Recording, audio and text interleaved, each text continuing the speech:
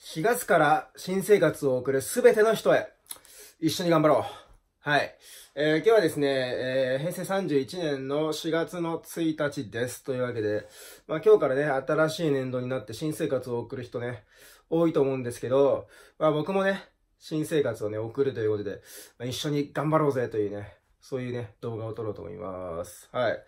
まあ、あの、このチャンネルのね、視聴者はですね、18歳から24歳までの人が6割ぐらいを占めていて、まあ僕とね、同じ年代の人が多いということで、まあ同じようなね、境遇の人がいっぱいいるんじゃないかなと思ってね、こういう動画を撮るわけなんですけども、早速ね、僕もね、新生活のね、洗礼をね、浴びてきましたよ。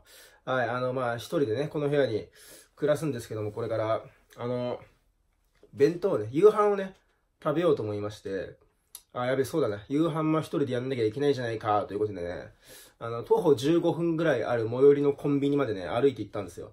でね、まあ、行きはね、まあまあ晴れてたんですけどね、帰りね、急にゲリラ豪雨が降ってきてね、このね、あの、生かしたカージャンパーが濡れてしまうという、まあ、非常にね、まあ、ほろ苦いね、新生活のね、洗礼をね、受けました。はい。まあ、あのー、新生活ね、みんな心細い人ね、多いと思うんですよ。うん。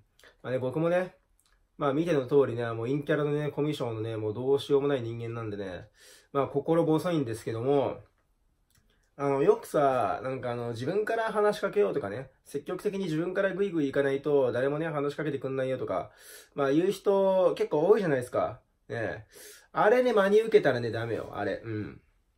あのね、あの、まあ、普通の人ならいいんだけどね、あの、陰キャラでね、コミッションみたいな人がね、新しい環境に入ったから、今までの自分は知らないから、まあ、そういうのデビューって言うんだけど、ね、デビューしようということでね、あの、一年発起して、自分からね、ちょっと明るいキャラですみたいな感じでね、わーわーわーわー行く人いると思うんだけどね、それね、絶対やめた方がいい。あの、なんでか、あの、絶対続かないからってことなんですよ。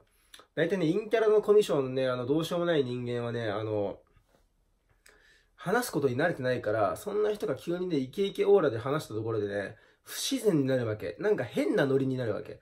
なんかちょっとこいつ、調子乗ってないみたいに見られかねないわけよ。だからね、慣れないことするもんじゃない。もっとね、あの、等身大の自分をね、ありのままの自分をね、さらけ出してね、行こう。まあちょっとそれ怖いって人いると思うんだけど、もちろんね、全部フルに全開に出してったらね、それはなんだこいつって思われるから、もちろん加減というのは大事なんだけど、まあ何が言いたいのかっていうと変に取り繕うなってことなんですよ。ね。変、自分をね、偽ってできた仲間はね、本物の仲間じゃないから。ね。あの、ありのままのね、自分、その自分をね、受け入れてくれる人がこれからも本当の仲間になっていくから。あの、偽りの自分を作ってできた仲間なんてのはね、長く続かないし、ダメだね、そういうのは。うん。それにね、疲れちゃうから。あの、外当たりは良くてもね、自分自身が追い込まれていくから。ね。いろんなところにいい顔してるとね、本当の自分が何なのか分かんなくなってね、もう頭おかしくなっちゃうから。ね。だから、もう自分をね、受け止めよう。うん。自分を受け入れよう。うん。そういうことです。もう、自分のね、好きなところ、嫌いなところ、いっぱいあると思うんだけどね、ありのままの自分をね、受け入れて、自分をね、受け入れることからしないと、他者を受け入れることはできないですよ。はい。だから、もっとね、素の自分をね、見つめ直して、その上でね、他の人とのコミュニケーションとのね、取れるようになれば、まあいいんじゃないかなと思います。はい。すごいですね。だからありのままの自分をね、うまい具合にコントロールしてさらけ出すということ。そういうのでできた仲間ってのは強いから、絶対にね、自分を見捨ててくれないから、絶対自分を守ってくれるから、そういうことですね。うん。で、まあ、あと、一人暮らしね、あの、何が大変なのかって言ったら、まあ、食料のこともそうなんだけども、洗濯とかね、洗濯物をね、食べないことだね。あの、すぐ溜まっちゃうから、もう、溜めようとしないでも、その日にもう、脱いだやつはもう即洗濯とかしないと、あと臭いしね。どんどんあの、カビとか入ってきて、そっから部屋の汚くなるってのは始まるから。部屋が汚くなったらね、もう綺麗には戻せないから。で、あと大掃除とかするのもさ、めんどくさいでしょ。だから、もう最初からね、最初から綺麗な状態で、やることがね、大事なんです。ちょっとお茶飲みます。すいません。はい、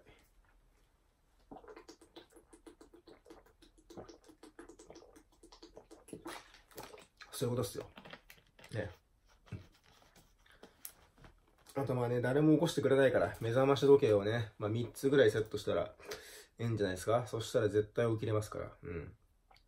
あとね、朝起きれないとか、まあ一人暮らしになってね、急に生活リズムが変わるからね、まあなかなか寝つけないとかそういう人いると思うんだけども、まあ、あのね、寝床で携帯いじんのはね、マジでやめた方がいい。あの、寝れなくなるから逆に目が冴えてギンギンになって、寝れなくなっちゃってね、結局昼間のパフォーマンスとかが低下していくからね。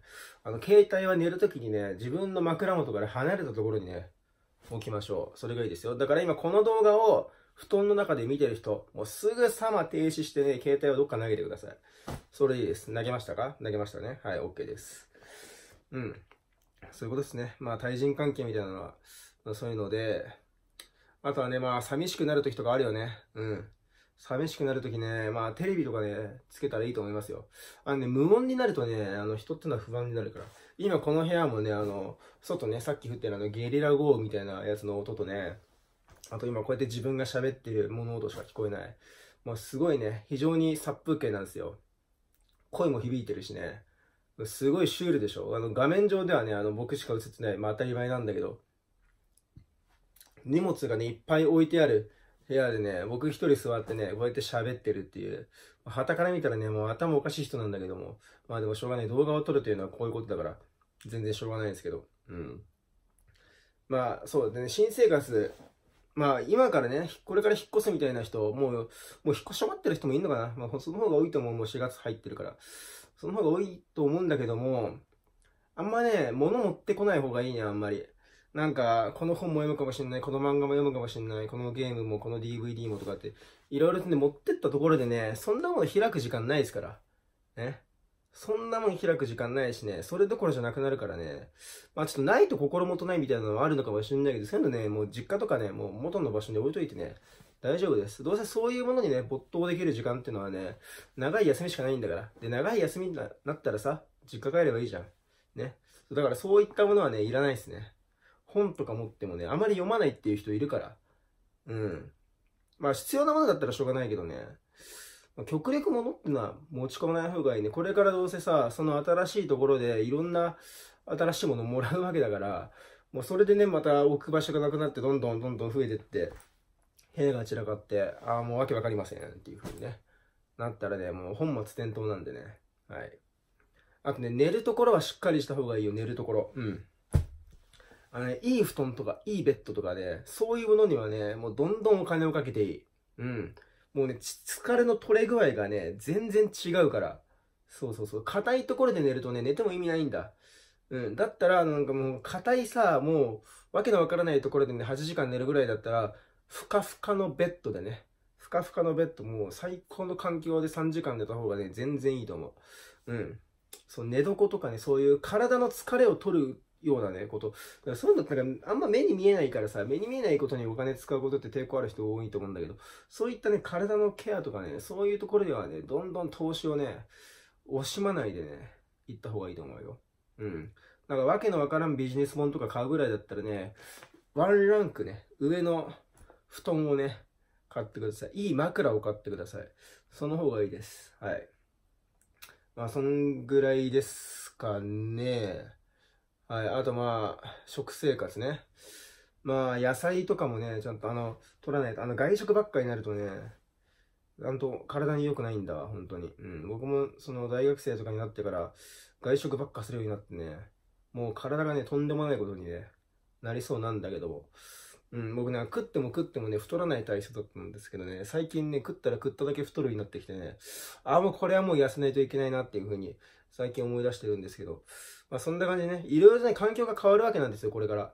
新生活になると。新生活になると環境が変わるからね、あのー、ごまかして、ごまかしてやってるように見えても、実は心が疲れてるってことがあるから、そこら辺ね、自分の精神状態みたいなのがね、本当大丈夫なのかなってのは常に気にかけた方がいいですよ。なんか自分は大丈夫大丈夫って思ってる人もね、そういった風に強がってる人ってポキッと折れたらね、もう一瞬でアウトだから。そう。だから、もう常にね、ちょっと大丈夫かなってね、弱い不安を抱えてるぐらいの方がいいと思うね。変に虚勢を張って強がってもね、あんまいいことないですから。あのね。まあ、そこまで気負わずにね、まあ、新生活迎えるにあたって、頑張ったらいいんじゃないですか？と思います。まあ僕もなんですけどね。だから一緒に頑張ろうという、そういう話ですよ。これからね、新生活をね、送るという方がいたらね、ぜひね、励ましのコメントみたいなのをね、もうこのコメント欄に書いてね、みんなでね、もう助け合ってね、行こうじゃないですか。ね、皆さんでね、いい新生活をね、送ってね、うまくね、5月、6月、7月と乗り越えて、夏にね、地元に帰りましょう。ね、というわけで、以上、K チャンネルからね、新生活応援のメッセージでした。ありがとうございます。